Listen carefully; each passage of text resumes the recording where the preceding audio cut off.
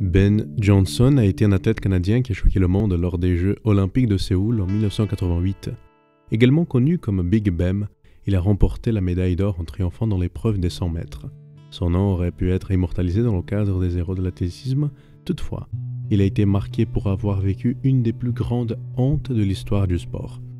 Deux jours plus tard, il a été disqualifié lorsque le test anti-doping a mis en évidence son utilisation des substances illégales.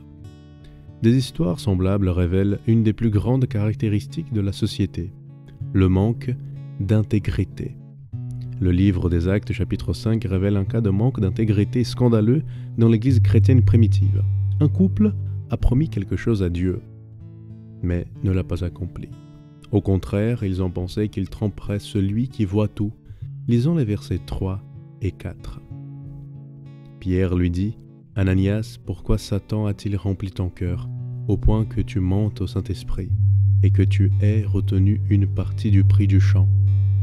S'il n'eût pas été vendu, ne te restait-il pas?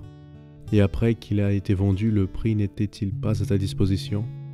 Comment as-tu pu mettre en ton cœur un pareil dessein?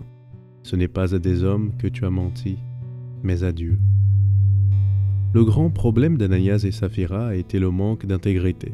On voit bien que personne ne les a forcés à faire une telle promesse dedans, mais à partir du moment où ils ont promis devant Dieu, là, ils devraient l'accomplir.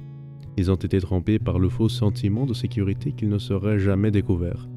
Mais les secrets ne sont pas des forteresses fiables. Avec le temps, tout se sait.